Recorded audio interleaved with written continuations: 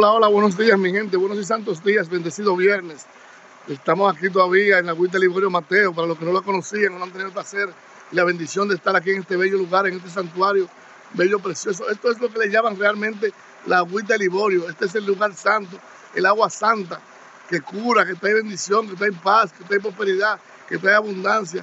Y aquí es que venimos a servirle primero a Dios, a los misterios y a nuestro Liborio Mateo, en bendición y misericordia. Agradecido primero de Dios por habernos permitido ayer celebrar el día de nuestro patrón, San Carlos Borromeo, Papá Candelo, el cual tuvimos una bendición muy grande aquí en este lugar.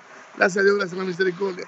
Agradecido de todos, agradecido de la misericordia de cada uno, de los misterios que permiten que uno tenga esta gracia y pueda desarrollar estas actividades aquí.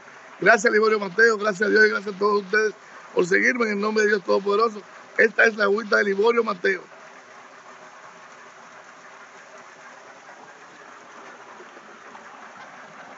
Este es el lugar santo, este es el santuario, este es la cueva, este es la noria, donde sale esa agua. ¿eh? Este es el lugar de los indios. Aquí es que están todas las corrientes buenas, todas las fuerzas buenas. Aquí viene la gente a hacer penitencia, a bañarse, ¿eh? a bendecirse con esa agua, los muchachos. Esa agua bajaba de manera natural hasta aquí, pero con las lluvias de ahora, de esta semana y antes de ayer, los muchachos le pusieron un caño para que baje todavía más agua, todavía esto se llena Aquí la gente viene a hacer sus baños, su penitencia. Se entran solamente, se entran solamente hombres solos, mujeres solas. No se permiten los ambos sexos aquí adentro.